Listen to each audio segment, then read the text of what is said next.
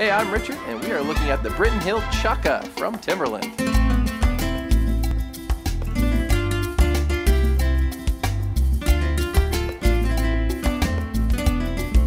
These guys have a premium full grain leather and canvas upper that looks really nice. They have a mesh interior that'll give you plenty of breathability. It's made out of recycled plastic bottles, so it's not only going to give you that breathability, but it's also eco-conscious.